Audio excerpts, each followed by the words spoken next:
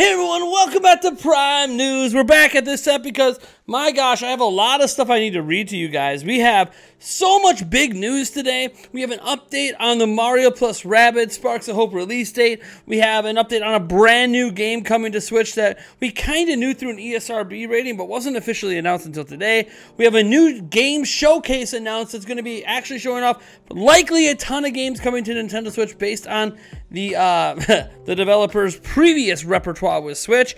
Uh, we have Nintendo themselves talking about the Nintendo Switch online service and future plans and how well it's doing at the moment. We have an update on Monster Hunter Rise. Oh, and by the way, something to do with Fall Guys. So we have a big jam-packed episode for you guys. Uh, if this is the first time you've ever been to Nintendo Prime, I would appreciate if you would subscribe to the channel, especially if you enjoyed Nintendo news, discussion, debate, uh, entertainment, all of that. I really would appreciate it. We also have a giveaway going on right now for two copies of Mario Strikers Battle League. If you would like to enter for that, head to the pinned comment or click the link down in the description. Uh, that is a kickoff giveaway for our Prime Giving Prime Giving Prime Gaming Fest, where we're going to be giving away thousands of dollars worth of giveaway stuff. I, I, more and more of the piles growing every day. It's going to be amazing. Uh, more details on that to come. We're actually starting to schedule out our first day. Uh, it's going to be a six day event happening June 9th through June 14th. But again, more details on that to come as we get closer to the event. That being said, let's jump right into the news. And the first piece of news we have deals with Alan Wake Remastered. So this game actually came back out in 2010 for like all the platforms at the time. And there was originally an ESRB rating that leaked for the game for Nintendo Switch. So we sort of knew this game was coming eventually. And today it was officially confirmed and announced for Nintendo Switch. It will be an eShop only release later this year. The date has not been unveiled yet. Uh, but what's neat about this is you might think eShop only. Oh no, guys. This is another cloud game. This is another control situation. This is another Kingdom Hearts situation.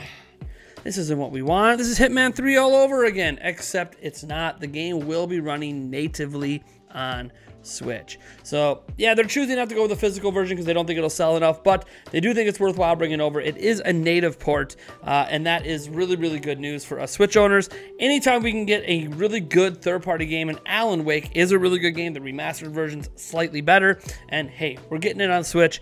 It's going to be portable now. That's really cool. A lot of fun. Thank you so much to the developers for actually deciding to bring it over. I know it's an older game, but hey, you know what? I want every game on Switch, so this is just another feather in the Switch's third-party cap. Next up, we have an update on Mario plus Rabbids Sparks of Hope, plus some other games because Ubisoft had their latest financial briefing as well. And inside their financial report, they stated the following. For 2022 2023, we look to return to significant top line growth. That's their current fiscal year. It will be mostly driven by a diverse lineup of premium games, including Avatar, Frontiers of Pandora, trademark, Mario plus Rabbids, Sparks of Hope, Skull and Bones. Man, that game is still coming, huh? As well as other exciting titles.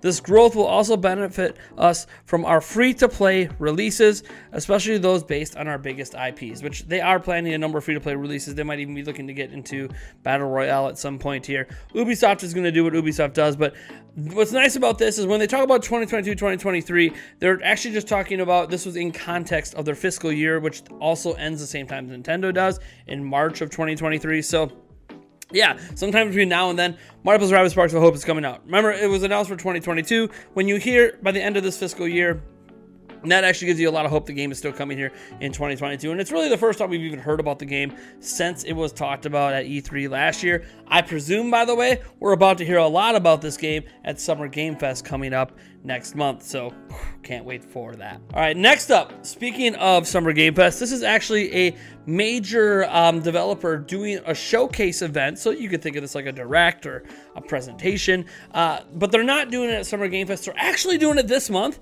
next week.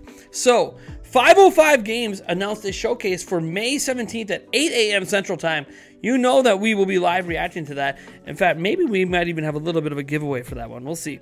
Uh, but here's what they had to say. And by the way, 505 Games has had like five or six titles come out on Switch, so we definitely should pay attention to this as Nintendo owners. But here's what they said uh, talking about this event. Leading video game publisher 505 Games proudly announces the debut of its first ever digital product showcase, an hour long glimpse into the upcoming products and a chance to get to know key developers behind each title a little more personally. Hosted by former MTV presenter Patrice, I, I might even attempt to pronounce that last name, the showcase will give gamers the latest insight into a range of upcoming titles that 505 is proud to publish, offering never before seen content, a brand new reveal from a cult developer, plus in depth interviews with some of the development teams responsible. As 505 Games continues to grow, it is important we keep shouting about the amazing developers we're proud to work with and the brilliant games they make, said Neil Ralley, president of 505 Games. With our first ever showcase, we're thrilled to present a handful of new games that we have. Handful, I feel, is like three, four, or five games. This is awesome, and I can't wait. We'll be live stream reacting to this, developer interviews. This sounds like this could be a pretty lengthy event, maybe an hour long. I have no idea. I am thrilled. I am pumped. We will be live reacting. Again, it kind of feels like Nintendo kicked off the summer event of stuff, even though we're technically not the summer yet, with the Indie Showcase. Now we have 505 games. June, we already have Xbox, Bethesda, Summer Game Fest, Tribeca Festival, PC Gaming Show, Future Game Show, likely a Nintendo Direct as well. Woo! It's getting exciting, guys. We're getting to that time of the year when all the major announcements come out. So next up, we have new details from the Q&A session during Nintendo's latest financial briefing uh, where investors get an opportunity to ask Shuntaro Furukawa, the president of Nintendo, uh, about various things happening at Nintendo. And they were asked about Nintendo Switch Online and how Nintendo Switch Online is doing, future plans. And here is basically the summary of what they said as translated by Video Game Chronicle. We'll link to their article because obviously they're responsible for this translation. And here's what they put The total subscribers of Nintendo Switch Online has not been updated from the 32 million subscribers we disclosed last September but it is gradually increasing as the sales of the Nintendo Switch increases, uh, Shuntaro Furukawa said. Of course, there are customers who allow their subscribership to expire and then they don't renew. So we believe it is important to continue releasing software that allows players to continue to enjoy not only online play but also enhances their overall experience. We continue to expand our services and create new content for our customers throughout this year. It has been heavily speculated that both Game Boy consoles could be next to join Nintendo Switch's online classic games offering, with multiple sources claiming last year that Game Boy and Game Boy Color games were likely likely to be added really soon. During the financial call this week, Furukawa pointed to the new missions and rewards added to Switch Online in March as an example of how Nintendo has so far added value to the service, as well as the addition of Mario Kart 8 Deluxe Booster Course Pass DLC for free. The president claimed these new additions were translating to increased subscribers in the United States. Furukawa claimed that most Switch Online users had upgraded to the expansion pack tier following its launch in October. The number of subscribers, this is a direct quote from Furukawa, the number of subscribers to Nintendo Switch Online Plus expansion pack is gradually increasing, as is the number of subscribers to Nintendo Switch Online, Furukawa claimed. By region, the subscription rate is particularly high in the United States. Immediately following the service launch, most people upgraded to Nintendo Switch Online expansion pack. Since the end of the year, we have launched many popular games for the Nintendo 64, as well as launched new DLC for Mario Kart 8 Deluxe and Animal Crossing New Horizons. As a result, we are seeing an increase in new subscribers. Now, regarding whether additional content similar to the Mario Kart 8 DLC will be released through the Nintendo Switch Online Plus expansion pack, the exec said, we will continue to consider the convenience for our customers as well as how well it would tie in with the individual software. We will provide the best possible solution for each title. So, what do we learn from this? The subscriber base hasn't really substantially grown from 32 million. It's still right around that number, maybe a little bit higher, but not enough to really say much about. But Nintendo is happy to see, especially in the United States, that pretty much everyone who subscribed to NSO in the United States upgraded to the expansion pack. I don't know how many millions that is for Nintendo. I'm assuming it's 10 to 15. Uh, so that, that's obviously really good news for them. You know, who knows with other regions. But yeah, it, it, it sounds like Nintendo sees that one thing that convinced people to, to, to really upgrade was putting these DLC packs in Nintendo Switch Online. So, yeah, they're going to continue to expand. They're going to add more platforms, going to add more games, and I think they're going to add more DLC. I know you said you'll consider it on an individual software basis, but that's not outright saying, hey, we're not going to put any more DLC on this expansion pass. I definitely think that they are massively considering any first party owned DLC that's going to be coming out. They're going to really be considering whether or not it should be on the expansion pass or not.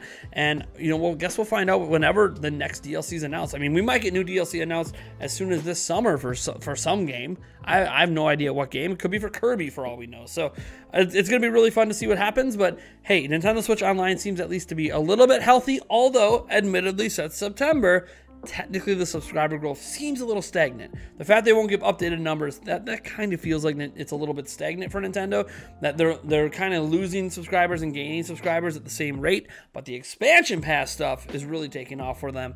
Uh, and so we'll we'll see. They got to obviously find a way to convince more people to even get on NSO in the first place. Next up, we have an update on Monster Hunter Rise because we now have a sales update from Capcom from their financial briefing. That's right, it is the week of financial briefings. And we found out that Monster Hunter Rise has now sold 9 million units. The last update we have is 8.5 million. It's on PC now. So this is really cool. It has an opportunity to potentially crawl its way to 10 million over time. And who knows? There is brand new, massive DLC that's almost the size of a game in that of itself itself in Sunbreak, dropping on June 30th, 2022. And that could be a huge boost to sales as well. I think Capcom's relying on it to be a boost as well. A majority of Monster Hunter Rise sales did happen on uh, Switch, so they know where a majority of the audience is for this game. This is really, really good. This obviously has pushed Monster Hunter as a franchise over 80 million lifetime to date. This is one of the most popular uh, Monster Hunter games ever released. Uh, not quite at Monster Hunter World levels, but dancing with those numbers. So, man, good on Capcom. Obviously, good on Switch owners for really enjoying this game and obviously reminding Capcom that, hey, we have a really big, strong core audience of Monster Hunter fans right here on Nintendo Switch. So, hopefully, this leads to more Monster Hunter games coming down the line. Our last uh, bit of news today deals with something that we talked about before where it felt like Nintendo uh, was really having a problem with two particular games, Genshin Impact and Fall Guys, and that these games might not be coming to Switch. Something weird is going on. And you know what's funny about that video? It's almost as if we called out the companies and then out of the woodworks, those companies come to speak. First, we heard from the developers behind Genshin Impact who reconfirmed the Nintendo Switch version is still in the works. That's it, though. That's all they really said. Uh, but hey, they. In wake of those reports and those speculation, they go, look, we're still making the game. But Fall Guys, we didn't hear anything from until today. They are doing a big presentation on May 16th, and Nintendo of America retweeted it. And you know what that means? we will be actually live streaming, reacting to that as well. Again, the events are just hitting us out of left and right and up and down and coming from everywhere. But Nintendo of America retweeted their event you know that means it's probably going to contain the announcement for Nintendo Switch with a release date, maybe even a shadow drop the same day. We'll see. Uh, so this is going to be really big. So hey, you know you can get upset about that video speculating on Genshin Impact and Fall Guys, or you could say, hey, because of all that speculation, we're now hearing about it. So woo, let's go. I'm really, really happy about this. By the way, I don't, I don't actually take any credit. I think these companies were doing these events anyways. But uh, hey, I, I actually I'm really excited about this. I know Fall Guys, you know, isn't as big as it once was. Like the heyday of Fall Guys feels like it was a couple years ago, but it could see a resurgence on Switch because Switch does have a massive audience of indie purchasers, and Fall Guys is going to be heavily promoted both by Nintendo and on the eShop. I think it's going to be a featured game, and yeah, I think Fall Guys is actually going to perform very well on Switch as long as they price it correctly. Uh, you know, they start asking like 20 bucks. Okay, now you're being a bit greedy. I think it's going to tank your game. You go five or less. I think that's that's the sweet spot for Fall Guys. So here we go. Here's hoping that, that we get some big announcements for Switch on May 16th and May 17th. I want to thank you guys so much for tuning in to Prime News here at Nintendo Prime. Hopefully, this was an informative episode. You learned a lot of stuff. We recapped all the big stories for you today. And woo! Let's look forward to our next video, which includes a Nintendo Prime podcast tonight. So I hope to catch you guys live at the Nintendo Prime podcast tonight, roughly around 8 8:30 p.m. Central Time. Thank you guys so much for tuning in, and I'll catch you in the next episode.